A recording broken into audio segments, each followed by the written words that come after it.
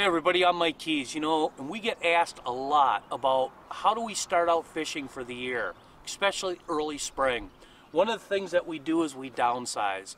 We're going to want to start out small. The reason being is is that it's been a long hard winter and these fish all their whole metabolism is based off of water temp.